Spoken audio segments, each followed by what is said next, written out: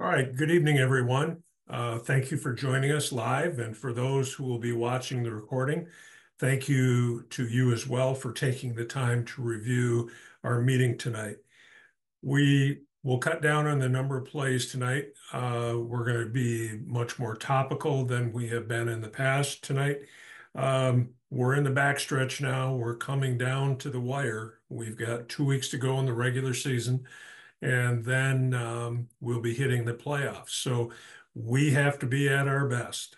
And uh, the way that we are at our best is if we prepare properly, stay in the moment, make sure that we don't change things that have been working for us all year, overemphasize our communication, um, make sure that we help out when and how we can. So those will be uh, what will make the difference for us at those key moments. So we're we're going to start out, and uh, very rarely do you see any college video from me, primarily because we have so much good video that comes from our various assigning groups. Uh, so, but there there was we've talked about catch, no catch at different times during the season. And looking back on it, we probably should have spent a little more time with this uh, during the preseason. But we've talked about concepts such as firm control. Um, if you're going to the ground, you have to survive the ground. If you're near a boundary, you have to get a body part down, and you have to satisfy those other requirements. If you're out in the field, you have to have firm control. And we've talked about the concept of doing something common to the game. So this first clip is from uh, Ferris State University and Roosevelt University that was played a week ago. And what we're going to get is we're going to get a catch down here on the lower left, or we're going to get a catch, no catch um, situation. We're going to, the runner goes, and that ball comes out pretty quickly. Now, we're going to get multiple views here. So uh, let's go to the end zone view. This is eventually recovered in the end zone for a score. Now, what you're going to see is that the receiver, this is close, like most of them are, but you can see that the receiver in this particular case has firm control of the ball, turns. But the point that I want to point out to you is when we think about things that are common to the game, notice that with the left arm, he attempts to stiff arm his opponent. That is an act common to the game and indicates to us that therefore, because he is performing an act common to the game and has firm control of the ball, that this is indeed a catch and a fumble. Um, Now, the only thing that I would take uh, issue with here from a seven-person mechanic standpoint is you're going to see that the short wing um, is going to move up rather than towards the goal line. Now, if this is a five-person game, this is absolutely correct mechanics. But in seven, knowing that you have the deep wing, what you need to do is to get that beanbag out, and then you need to make your way back towards the goal line. This ball is loose in the end zone. Several hands are on it. And eventually, we have firm control in the end zone. You'll see the referee and the short wing on that side take their time. They don't rush to a judgment. Uh, they make sure that the play finishes properly. Um, we may potentially have had a player that was out of bounds there. We don't get a look at that, unfortunately, just by angles. Um, but they take their time. They find a player in possession of the ball. It happens to be a player wearing a white shirt, and they ring up a touchdown. But the point of the matter here is firm control, enough firm control that this player was able to do something common to the game. And therefore, the correct call was fumble or catch, fumble, eventually recovered in the end zone. Now, you can see the deep wing and the back judge are moving up slowly. They're letting this thing settle. And now, eventually, we're going to get to a point where there's going to be a conversation, and they're going to work their way through this and stick with the ruling on the field, which is catch, fumble. Now, like most of the catch, no catch situations we've shown this year, this is close. There's no doubt about it. But really what sells the deal here is to our end zone view, when you can see where this player um, has firm control and then attempts to stiff arm the opponent. One more time and we'll move on. Turns upfield, attempts to stiff arm, defender gets the ball gets the ball out with a arm to it. Um, now it doesn't look like that player out of bounds actually touched the ball, but we know or we should know that if that player who does go out of bounds touches this ball while it's loose, the status of the, the ball is out of bounds. And then we would have to make a determination what caused the ball to end up in the end zone. And hopefully you would agree with me that the impetus here is the fumble. Even though it is muffed around, the, the impetus is the fumble, which means that team A is responsible for the ball in the end zone. So had Team A recovered this ball, this would be a safety. So good play to learn from, good play to talk about, but not one of those things from the standpoint of a stiff arm that typically you think of as a football move. All right, Gregor, uh, let's go to the KOA next. All right, we're going to take a look at um, some clips that involve uh, kick returners. And this probably is something that uh, came about, like most things, uh, from football clinics uh, where coaches go and they they learn certain things that um, presenters give to them. Uh, because this year uh, I've seen more than I can remember in a long, long time, a lot of pointing at the ball, right? So here you can see the up back points with his hand clearly above the shoulder. Now, as a result of this signal above the shoulder, we're going to recognize that as an invalid signal. We're not going to foul it. We're simply going to, at the end of the play, we're going to shut it down when this ball is recovered. Now, in this particular case, it's pretty deep the kick return has to go inside the five. Um, and we'll get to some processes here in just a minute, but I want to show some examples of what you need to be prepared to deal with for the rest of the season. Not that you haven't seen some of it so far, but it just seems like recently we've seen more of it. All right, so there's the first one. Clearly the up back is pointing and his point towards the ball or back to the kick returner is above his shoulder. Now, we're not going to nitpick the shoulder. If it's close to the shoulder, we'll give them the benefit of the doubt. But clearly, clearly, this hand is up around the helmet. So we don't have the latitude to do anything other than to recognize this as an invalid signal. All right, next clip. All right, here's another kick. Same team receiving.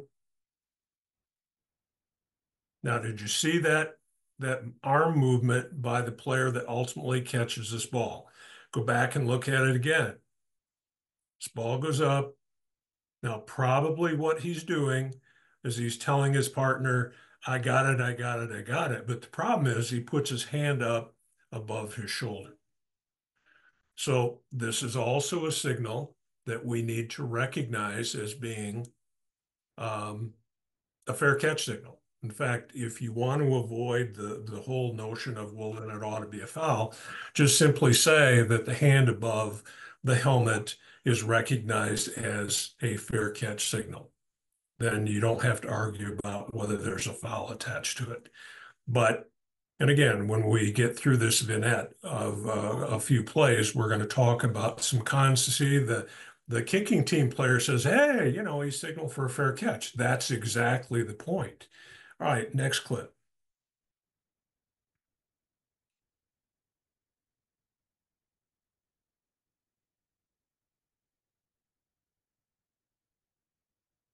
All right, there. Hand is below the shoulder. All right, everything is below the shoulder. Now, there's no return here, uh, but when we have action, um, where we keep our arms below the shoulders and we simply point. If we have any waving factor, that's also going to be a signal, but simply pointing at the ball is not going to cause this to become automatically dead. All right, I believe there's one more here, Gregor. Number 51.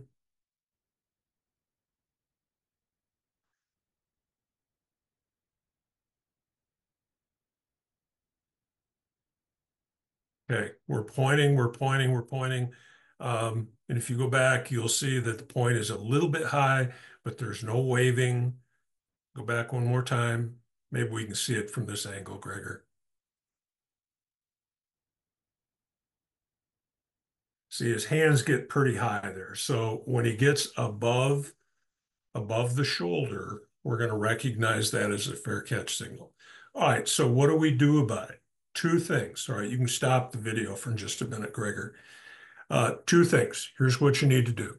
First of all, referees in your your pregame meeting with both of the head coaches, you need to bring up the aspect that we're seeing more and more of this. Um, and that the only thing that a kick returner can do that will not cause the ball to become dead is to point at it. And the point has to be at the shoulders or below. Any pointing with waving is going to be recognized as a fair catch signal. It's going to become dead.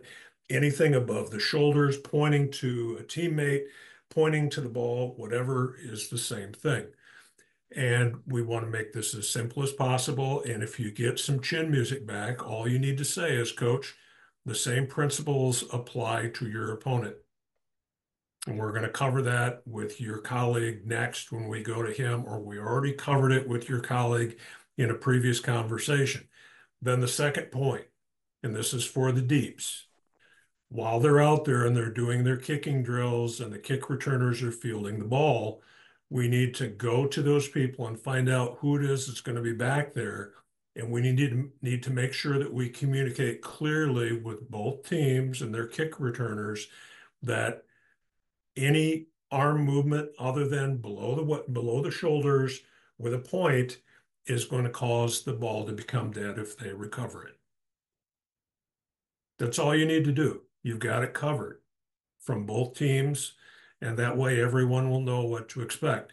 And then the third piece, if we do have a signal that we recognize as killing the ball, let your referee know what happened, and then referee flip on the microphone and simply say, uh, the ruling on the field is that an invalid fair catch signal or a fair catch signal was given, and by rule, the ball is word is recovered. So you need to prepare uh, from three points of view, and that will cover it. And that way, hopefully, we can avoid problems that might otherwise uh, rear its head. Any questions on that? Rich, we got hopefully one. Hopefully, that's helpful. Yep. We got one uh, from Damon. Uh, in a five-person crew, can the short wing kill the play if they know notice an invalid fair catch? Uh, it it needs to be the the short answer is yes, but you better be certain. Okay, there can be no question about what just happened there. It can't be well. I thought or it looked like. No, this is what the kick returner did. If not, then don't get involved in it because we don't want to be making assumptions and making poor choices. Okay. Now, at the end of the play, like let's say you're a deep point or you're a short wing and you you think you saw something that concerns you, at the end of the play, you can still come in and say, Hey, Rich, did did you see anything that looked like uh, something above the shoulder? Um, do we need to consider bringing this back to where the recovery was made? We can have that conversation, but let's just make sure that we don't have regrets because, well, and then afterwards we realize that, well, I guess I really didn't see the whole thing. Good question, Damon. All right, so let's continue with the KOA. All right, so what we have here is we're going to have a pass that is going to go downfield. First of all, we're snapping from about the 30. So in five-person mechanics, we know the back judge is going to start somewhere around the five, and then is going to have to make decisions about what to do, whether the goal line is threatened. If it's not, then he needs to clearly get back to, or at least towards the end line to defend the end line. Now, in seven person, you know that you have deep wings that are going to be at the goal line. So back judges, when in doubt in seven, if you're not certain where that ball is going to come down, start giving some ground into the end zone, knowing that your colleagues are going to have the goal line covered in the event that we have something close. Here, the back judge, this is a five person game, right where he belongs. Pass is intercepted in the field of play, which, by the way, potentially we could have had a momentum. There's something that we've not talked about this year. Um, this is probably intercepted at about the one and a half. And we don't want momentum inside the one for sure. So anything that's that close when you've got the player going to uh, in retreat mode, like what we have here, we would recognize that as being in the end zone and a touchback if applicable. Um, here, the ball is intercepted, and because the player comes out, momentum would be off anyway. Now, momentum, we're going to put a beanbag down at the spot where possession changes. Most times it's an intercepted pass, but it could be on a fumble, could be on a backward pass, could be a number of scenarios where um, the goal line could be involved and we're not going to have a safety if the if team B ends up in possession of the ball in the end zone. So just a, a good reminder there for back judges, something to talk about during your pregame this week in terms of making sure that yes, we have the goal line covered, but when in doubt, our back judge is going to make sure that he's prepared to defend the end line if it is challenged. All right, next clip. All right, so what we're going to get, we're going to get a play that's going to come towards the uh, left side of the screen, bottom left.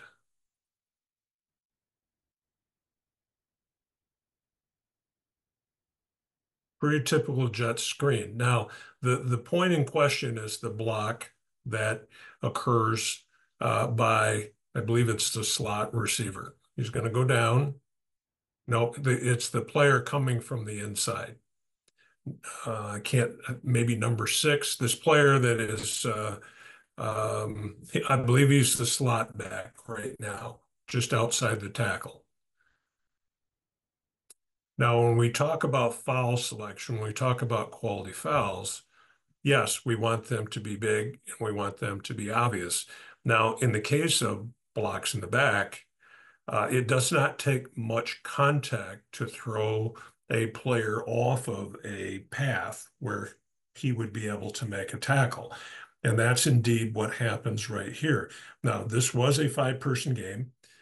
Uh, the referee picked this up. Now, um, normally I'd want the referee working the the lineman from the back side, knowing that the umpire is going to work the the lineman from the front side. But for whatever reason, he goes out and apparently sees this block beginning to end, and this is a correct call. Now, in seven person, um, this is deep wing all the way. This is deep wing 101. All right because clearly the, the widest receiver that started out being our key is going to be handled by the short wing. So now we need to check down. And actually, our back judge, in addition, should have looks at particularly this block in the back. But let's not get totally hung up deep wings on the block that's occurring at about the 10. We also need to keep our vision wide enough that we can see the other block because the first block that is ends up being the IBB is the one that's at the point of attack first. So in terms of prioritizing our blocks, the number one block would be the one at the top of the numbers. And the second one would be the one that would come later in the blocking pattern, which is the one that would be ideally um, your initial key as a deep wing. Keep in mind, in a, in a reason why deep wings that we have to look beyond just our initial responsibility is look at the traffic that potentially gets in front of the back judge. Back judge may not have a clean look at that block. So we need to be prepared to support um, a foul if one is necessary. And even though the, I, I would not ask the short wing to to be responsible for that block. He has to make sure that this is a forward pass. He also needs to make sure that we have firm control. So this is a block that has to be picked up by back judge and deep wing. All right, next clip.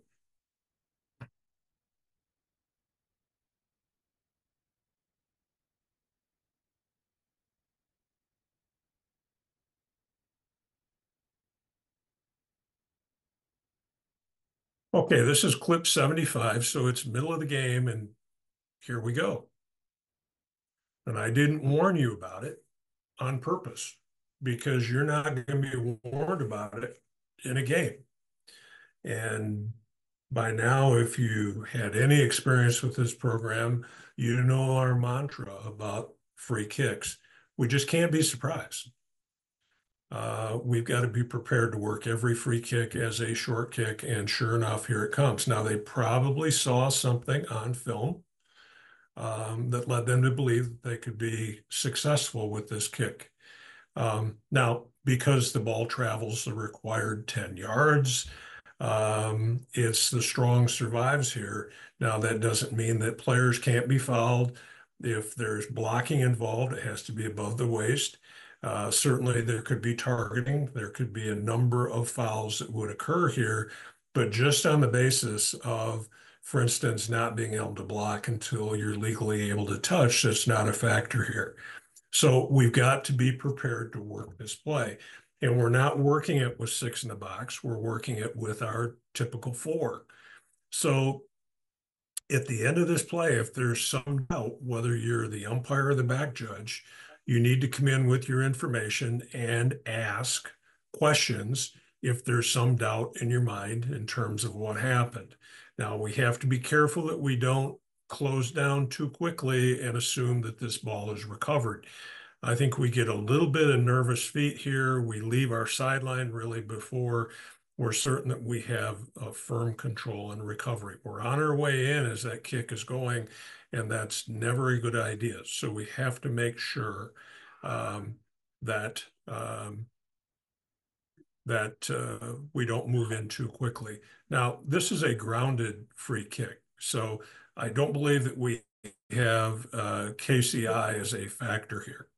Um, if it was airborne, then the person that put in the chat, you know, what about KCI? Absolutely, that could be a factor. And we know that uh, regardless of whether there's a Team B player in the area or not, they can't catch the ball on the fly. All right, next clip. This has got to be part of your preparation, though.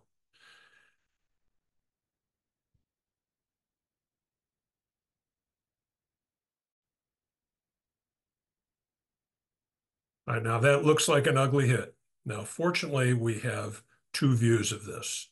So let's look at it from the uh, sideline view again. You can see that this player is vulnerable, uh, clearly defenseless. And he takes a big hit. All right, so you, you might be thinking, well, this could be targeting, this could be a high hit which by federation rules could be a foul. But as we look at it now from the end zone view, we can see that this player pretty much goes right on by this guy and contact is at the shoulder pad level, shoulder to shoulder here. So let's talk about this from a mechanical point of view. Let's say that our short wing or our umpire or anyone on the field dials this up and throws a flag. All right. First of all, we're going to ask the question, what do you have? And then we need to work through the play in terms of, for instance, I would think that the back judge would be in an ideal position to look at this and be able to say, wait a minute, okay. Uh, first of all, you don't have targeting because the, the we don't have forcible contact above the shoulders. Um, and in terms of whether this is a high hit or not, this is shoulder pad to shoulder pad. And I did have a look. Yes, it's a big hit, but this is one that we really ought to pick up because this is just a, a hard hit, a football play, um, and one that we just need to play on. All right, next clip.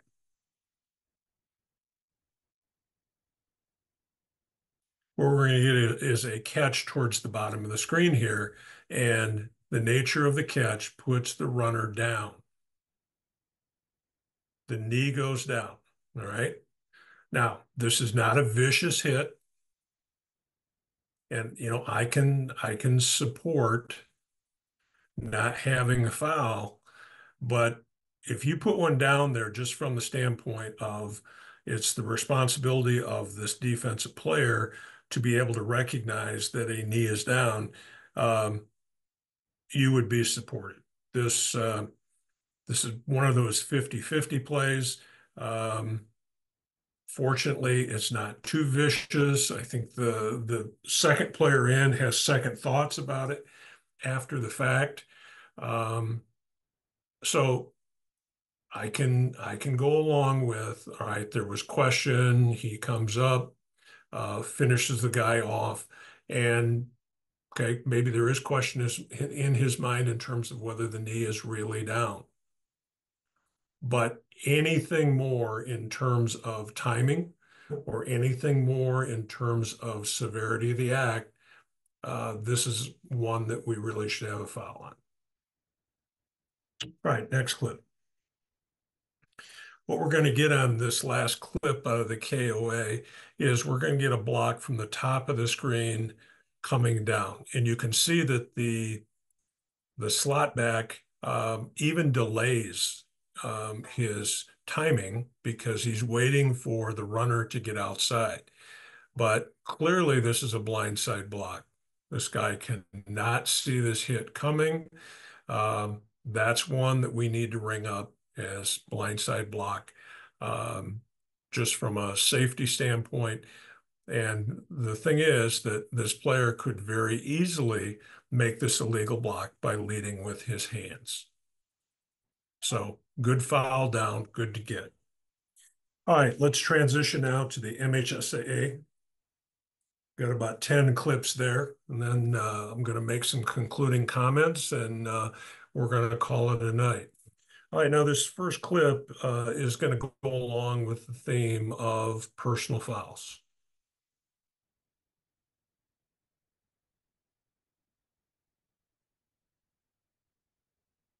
And what you, what you can see here is this play is broken up downfield.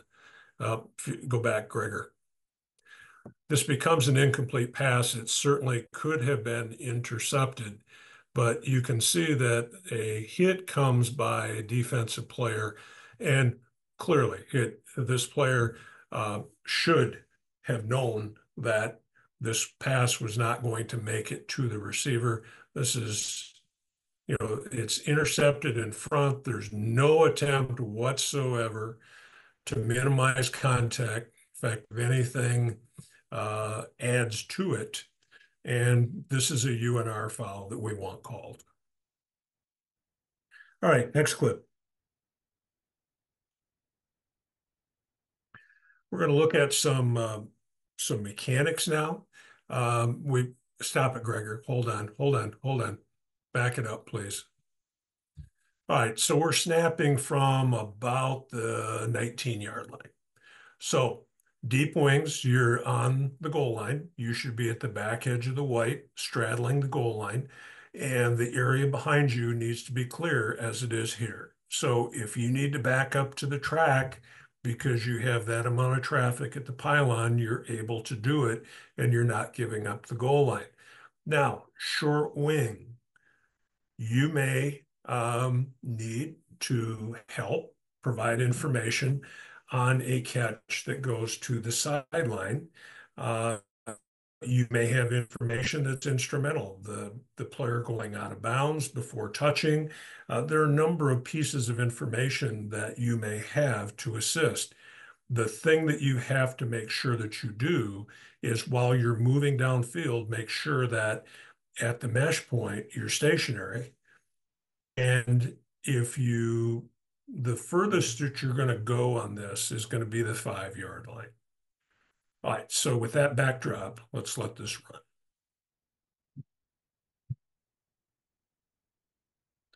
So our deep wing is not in um, the ideal position. He's off of the goal line, comes up, incomplete. He's got incomplete out of bounds.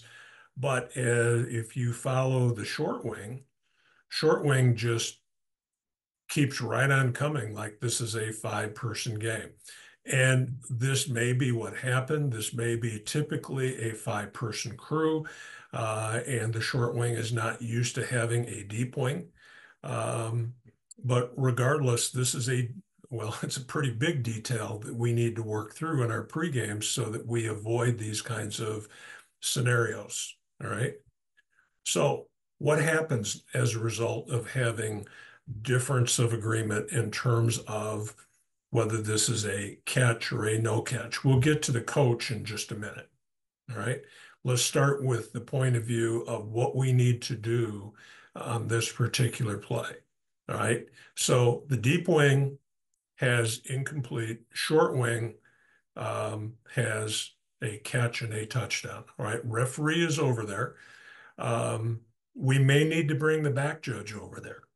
Back judge, if you've got information you need to come and bring it. But the questions that we need to ask would be what made this pass incomplete? Or what made this pass uh, a completion for a touchdown?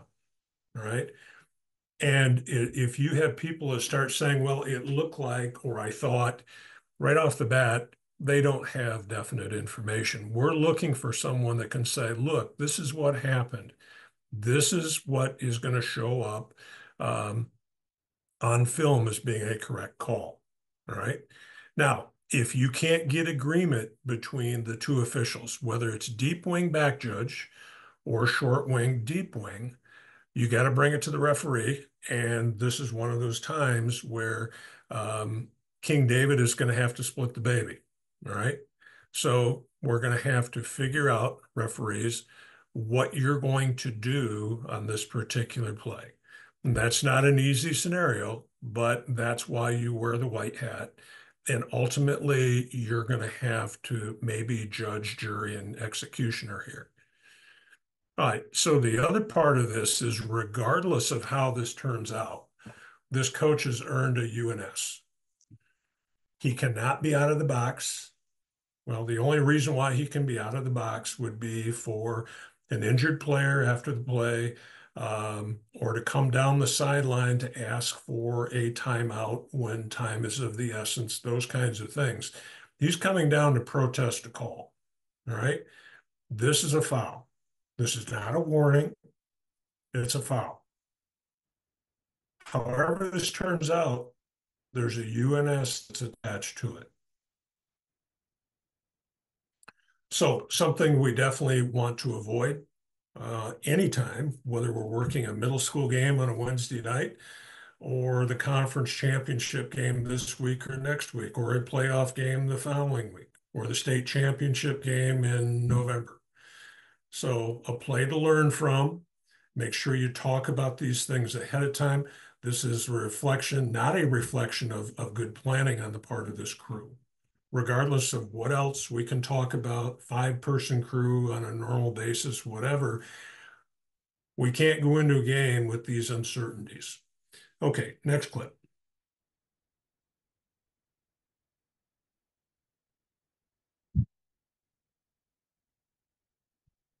All right, now what I want you to notice is the line of scrimmage official at the very bottom left corner coming into the screen. We've got teams in position to play. I'm presuming that we've had a ready for play signal. Um, first of all, referees, before you make the ball ready for play after any sort of a delay, timeout, end of a quarter, whatever happens to be, you need to kind of do a nose check and make sure that you've got everyone else in position ready to go. And if you don't, you don't give the ready for play signal. Now, let's just say for whatever reason it happens as it did here, you hear the ready for play signal and you're the short wing or the deep wing or the back judge or the umpire, whatever you happen to be, and you know you're not where you're supposed to be, shut the game down. Blow your whistle. We'll reset. We'll reset the play clock. We'll give a new ready for play signal and we'll move on. Now, fortunately, this line of scrimmage person gets back there, but what opportunity did the short wing have to perform his pre-snap responsibilities? Is he even certain that he's got four, no more than four in the backfield? Probably not. Uh, has he been able to establish the neutral zone in terms of where it is and um, other factors relative to having to make a decision on a false start or a DOF, whatever it might happen to be? So we can't play football under these terms and conditions. Don't let it happen.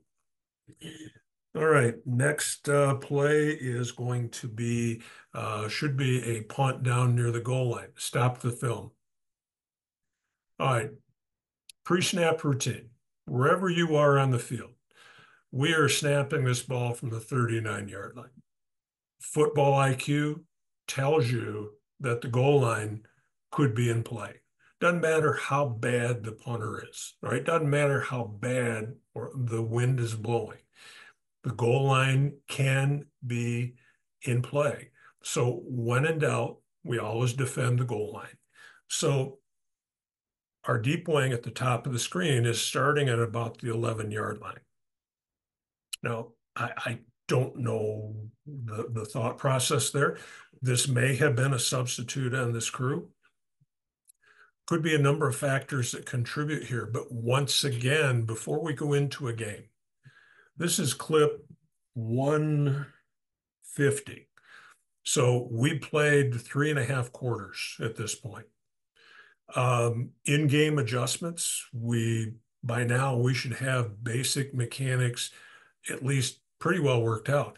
And back judges, you're the captain of the deep three. So there's no way that this play should begin with the deep wing standing at the 11 yard line. Don't let it happen. 0 2 um, take a couple steps over that way, get that official's attention, get him or her where they belong. We can't begin plays out of position. Now, go ahead and let it run.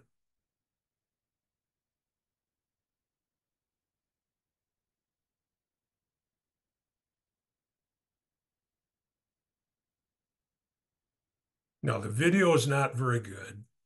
I will tell you that this ball hit uh, in about the 10, rolled and rolled and rolled and rolled and rolled and was about a yard uh, from hitting the pylon and went into the end zone.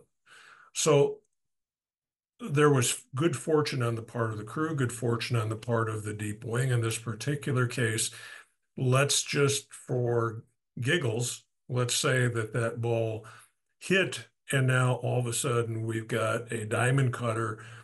Does this go out of bounds over the pylon? Does this go out of bounds before it gets to the pylon? Um, how are we going to know?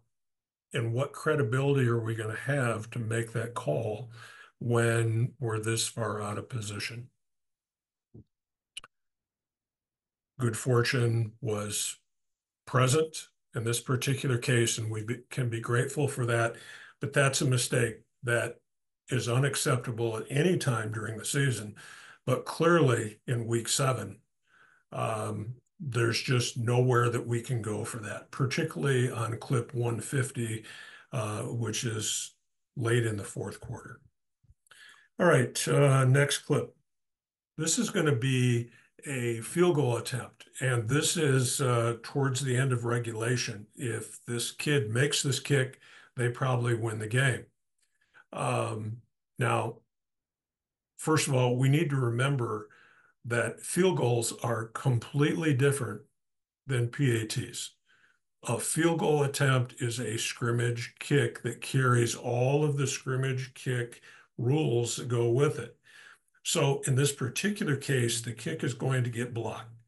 So line of scrimmage at the bottom of the screen gets going. Now, I appreciate his thought that he's thinking that this could be reverse mechanics. Um, and he wants to be on his way towards the goal line. So the thought process is good.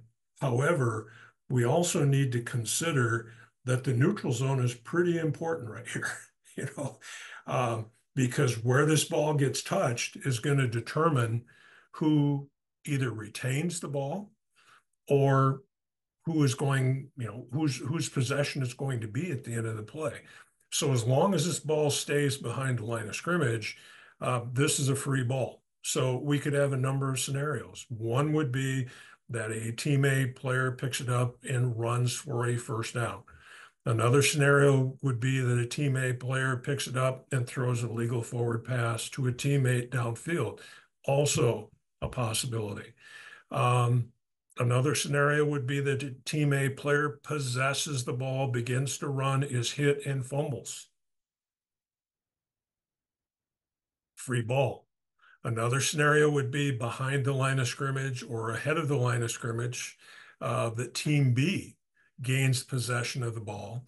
And now during their return, they fumble the ball. And then we know at the end of the play, whoever has it is going to have a new series, first and 10.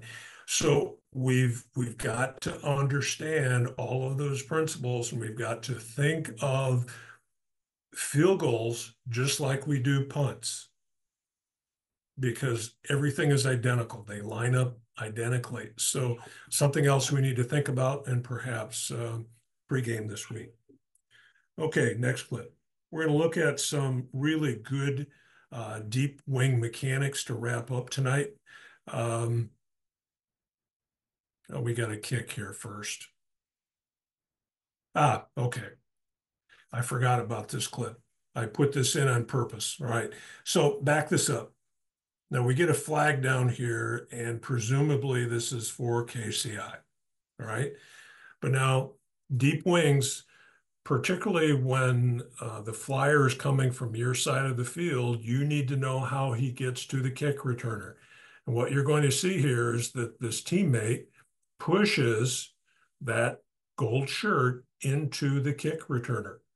So this is a block in the back. It's it's foul.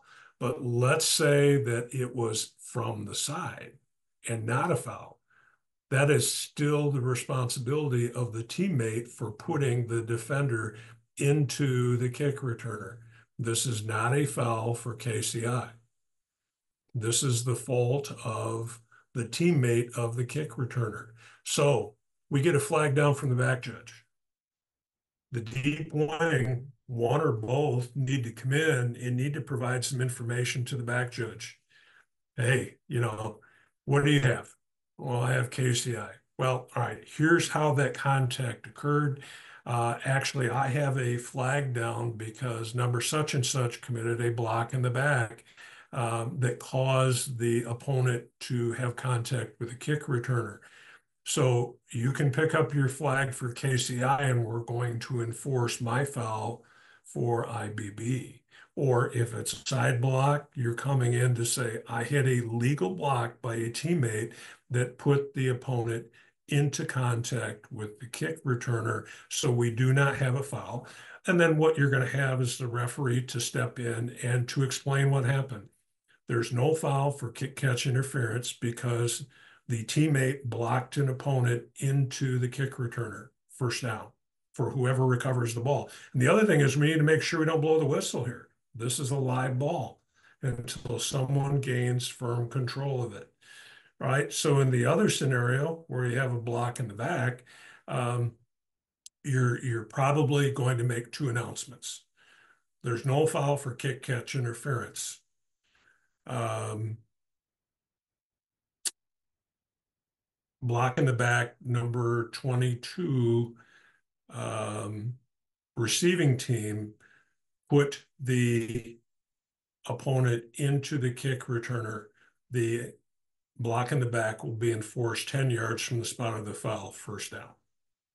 So that's what we need to do when we have a flag pickup. But we have to have that crew communication. That's the rules knowledge. That's the trust factor that has to be in play for our crews to be highly functional. Okay, next clip. Hey, Rich, can I ask you a question on this one? Certainly. Um, should this be the yellow team, the yellow jerseys team ball? Does it hit the white player and bounce off and then they recover? So an ideal situation, Well, would you No, apply? you're, you're, you're, you're, if, good point, Gregor. If you have possession by um, team A at the end of the down, then the only thing that, that we can do in terms of enforcement, um, check me if I'm wrong on this, uh, referees, but because this ca- catch interference, it doesn't matter who has the ball at the end of the down, you're going to enforce from the spot of the foul. But because you've got um, a foul by uh, team B and team A ends up with the ball, the only place that you've got to enforce this foul is the previous spot. So if someone has something different, you know, chime in. But team A ends up with the ball. Okay, thank you. So theoretically, and that is, that looks like that's fourth and about eight. So in that particular instance, um, the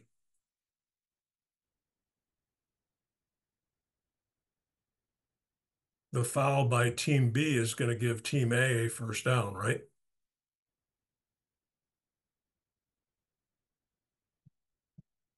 I yeah, I think so, but if uh if it did hit the white player and bounced off, then they would what decline the penalty and take the ball at the uh where they recovered it down there. You're right.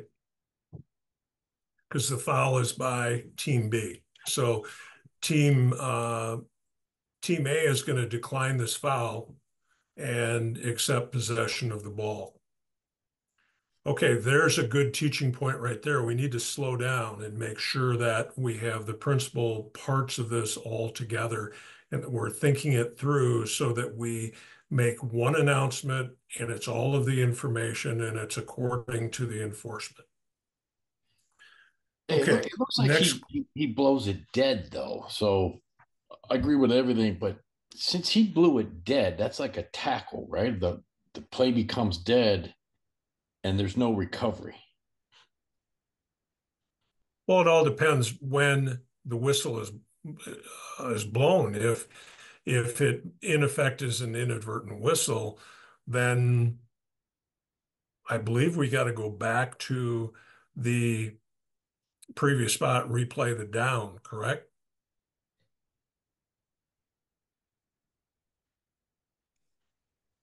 Yes, if it's an inadvertent whistle. Well, Rich, I was going to just pipe in if um, they always say if you have an inadvertent whistle, be thankful for the penalty. so uh, it, then it'll go back to your point where we'll go back to the previous uh, spot, okay, and uh, we'll enforce it from the original line of scrimmage and award the kicking team a first down if they had uh, uh, less than 10 yards to go. Yeah, that'll be an interesting announcement. Oh, it would definitely be an interesting announcement. You know, I put this clip in for one specific purpose, but it it really is a great teaching play and emphasizes a lot of important um, uh, pieces of information that we would have to consider to have the correct ruling at the end of the play. Now, the the key would be, first of all, don't be in a hurry to blow your whistle because this is still a live ball when you blow the whistle, you take away a lot of options. So better to have a really, really late whistle than to have one a split second too soon. Okay, we're going to wrap up with a couple of really good mechanical uh, read and react situations. You know, we've been working on that. That was one of our priorities this year. What we're going to get um, on this first clip, we're going to get a fade pattern, which we know is pretty common. Oop, wrong one. All right, so we'll get to that in a minute. This first one is we get a pattern that is run towards the sideline and we have an interception because the ball is underthrown. All right. Now, the good part is you can't see the deep wing until now. Deep wing comes up. Now, we don't need to drop a bean bag. Bean bag does not mean anything here. We don't need that. It's not one of the reasons to use the bean bag. This is just clear cut. It's an intercepted pass and belongs to Team B. We need to stop the clock and give a new directional signal. But let's give credit to the deep wing on this side for having a good cushion. Also, our back judge in the middle of the field. You can see that there is a solid cushion there uh, we're able to make good decisions, read and react. Shoulders are square to the sideline. Nice job. All right, next clip.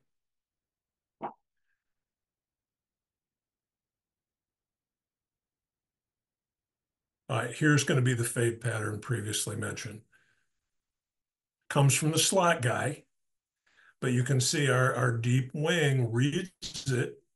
He sees right away that his receiver is cut off the pattern, but here comes that slot guy, and he is nicely ahead of it. He's shuffling, shoulders are square to the sideline. He is in great position to make a good ruling on this, which in this particular case was pretty simple. It was just an incomplete pass.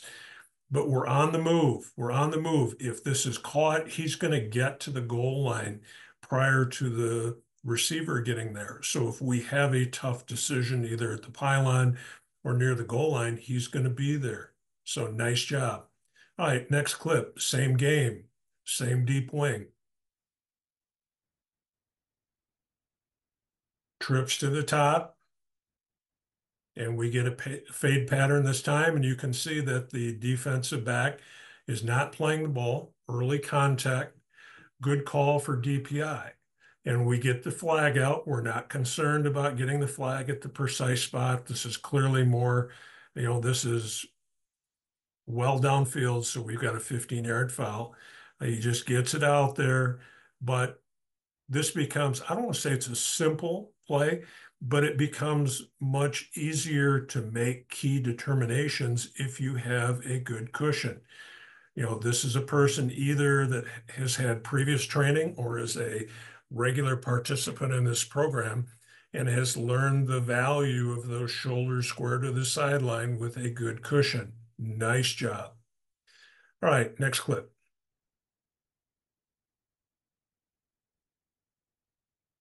All right, this is going to go to the right side of the screen. Deep wing, right where the deep wing belongs. Um, I believe that is uh, a young lady. Nice to see uh, uh, ladies out on the field. And she is goal line extended, doesn't move, waits for the play to finish, confirms that we have all principal parts of a catch in play, and then very calmly signals a score. Very, very well done. One, two, three, four steps in bounds firm control, not going to worry about the ball on the turf there. We're certainly not going to nitpick that. Okay, next clip. Um, you know, we've been talking all year about our preparation. We've been talking about the importance of communication. We've been talking about being and anticipatory in terms of things that might happen that theoretically we shouldn't expect, whether it's a double pass, whether it's um, a double reverse, uh, a transcontinental pass on a punt return, those kinds of things um, hopefully don't totally catch us off guard. Now, sure, there are going to be times where um, we might be surprised, but we want to try to limit those to whatever degree possible. So your crew communication, like anyone on the crew can say, hey, heads up, this this could be something unusual. This might be a trick play. But we know that the trick plays that, like, for instance, the transcontinental pass occurred in the second quarter of a game. So uh, they can happen anytime, and they are reflective of the fact that the coaches have had these guys in camp since August. And to keep it interesting, they've done some things that are kind of unusual. Um, and again, particularly if you've got teams that don't have a lot to play for, they're going to bring out those kinds of things. So uh, we just have to be prepared and and know that um, we're going to handle them to the best of our ability. The, the final thought that I have tonight is uh, as we go through the last two weeks of the regular season and into the playoffs, at the end of the game, let's not have regrets. Let's not regret that we didn't speak up, that we didn't go to the referee and say, can we talk about it, that enforcement just a minute? I want to make sure that we're doing it right. Like, for instance, the, the play that we talked about in terms of um, being blocked into the kick returner, you know, that would be one that you'd maybe not be directly involved in it, but you would listen to it and you would go, oh boy, that just doesn't seem right to me. Then you would go and you would say, can we talk this through one more time? I just want to make sure that we're considering everything that we need to before we enforce this foul. An extra 15, 20 seconds might save the crew. Let's not have regrets in terms of throwing a flag that we didn't see beginning to end. Uh, you know, you can put a lot of tentacles into the regret factor. All I'm saying to you is when you walk away from the game, when you're in the car on the way home, or you're in the shower, or whatever it happens to be, let's not regret that we did or we didn't do something that we know that we should or we shouldn't have done. So, with that, all the best.